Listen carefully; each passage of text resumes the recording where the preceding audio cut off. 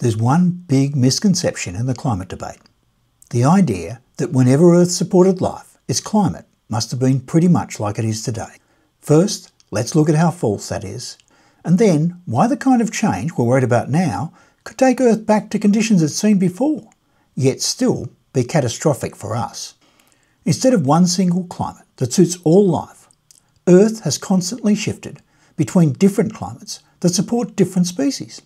For most of its history, the planet's climate was only conducive to single-celled microbes too small to see. Even during the relatively short period with visible life, the climate kept changing, supporting one group of creatures, then another. You might wonder, what about the dinosaurs? Try this yourself. Ask AI, would large dinosaurs struggle to survive in today's cooler, low oxygen world? You'll find that while smaller bird-like species would be fine, the larger ones, like T-Rex, would feel like they were living at the base camp of Everest, sluggish, struggling, and most likely unable to catch enough food to survive. Sorry, Jurassic Park. Even small changes in climate can determine not only whether a species survives, but how well and in what numbers it survives.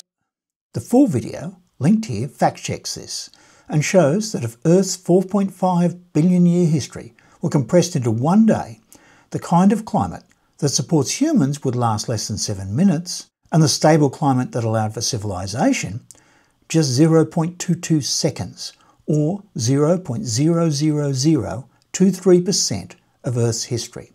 Here's the climate since us Homo sapiens, with brains just like today, appeared, and how for roughly 96% of our existence the climate kept shifting, which is seen as what prevented us developing civilization. That last 4% of stability on the very right, that includes everything from the Stone Age to today. The world of the dinosaurs was over 7 degrees C warmer, with far more CO2, and it supported life, so why are we worried about just plus 3 C or less?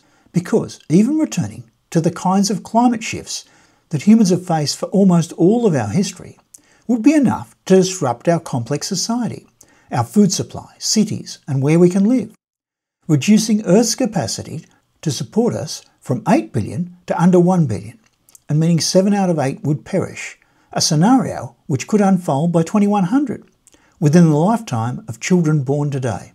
And that's where this debate really breaks down. This misconception makes both sides miss the real point. The planet doesn't need saving, we do. Saving not necessarily from our extinction, but from sufficient change to cause the breakdown of our systems that depend on the current rare and unprecedented stability.